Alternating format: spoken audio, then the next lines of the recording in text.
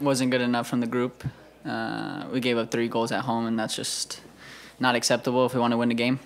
Um, we put two away, and that's enough, especially in our home atmosphere, to get the result. And it's a lot of games, and it's not an excuse. We steered away from uh, our game plan and our game model. We're a little undisciplined, so it'll be good to get these, you know, this little break so we can refocus. Hi, Danny. Um, it looked like there was a shift multiple times in the positioning in midfield. Sometimes the double pivot, sometimes the single. You obviously played in both the single and the double. What do you see the differences in those positions and what is asked of you? Yeah, I mean, uh, the game changes. You know, sometimes they come out in a different way that we didn't anticipate.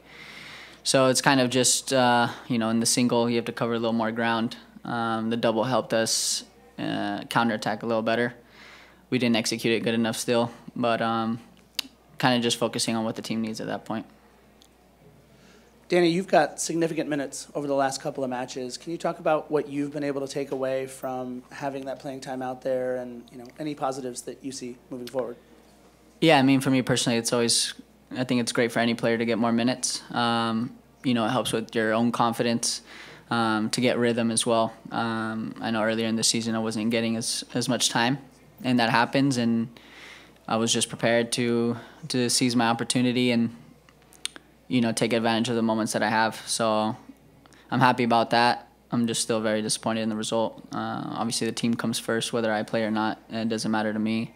The success, the success of the team is what's most important, and that's what makes this group special. We all believe that. Whether it's you know, there's no hatred towards the other guy in front of you. It's more of we're a family, and we want to all do good together, no matter who's on the field. So. You mentioned it before, but uh, uh, how does it feel to be finally not have to worry about a game midweek? Like you, like it has been the case like pretty much for last couple of months now. How does it feel to finally be able to get some normal, have a normal preparation? Yeah, I mean it's it's more of a mental break for us. Um, it's, it's a long season and back-to-back games is hard on the body and mentally, you know. Uh, so it's good for us to to take some time away from it.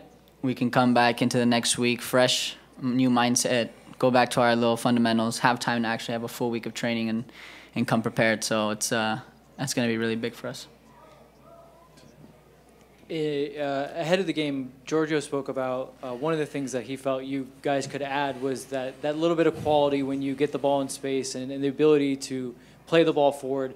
Tonight, it looked rushed or it, it, just wasn't coming off for whatever reason. I guess my question to you is, was it was it rushed? Was it a uh, because the game was out, laid there and you guys were maybe pushing too hard, or is it is it still the legs kind of not there?